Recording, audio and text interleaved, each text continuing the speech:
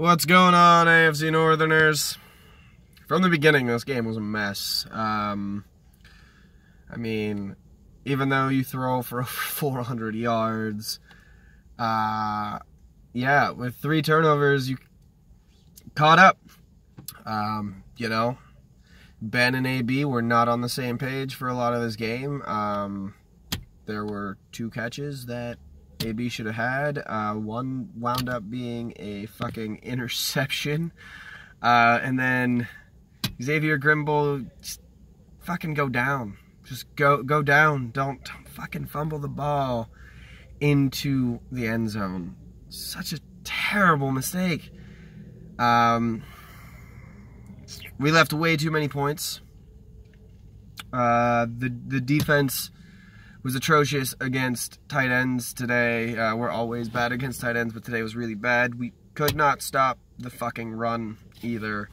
Um, I'm just I'm thoroughly upset and thoroughly disappointed by this game. Um, yeah, I just it's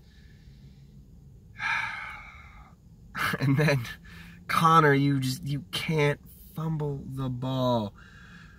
Uh it's and we couldn't we couldn't get to the quarterback a lot. We had I think what two sacks today. It's just it's I'm defeated today. Um, this is this is not was not a good game all around. This is going to be a short video. Uh,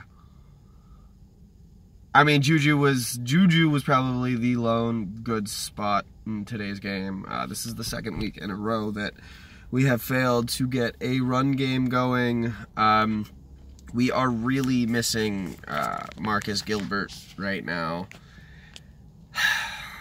It was just, it was a rough game. I've got really no much more to say. Uh, well, I will say that um, Denver is better than their record. Um, we got we got out out coached, outplayed.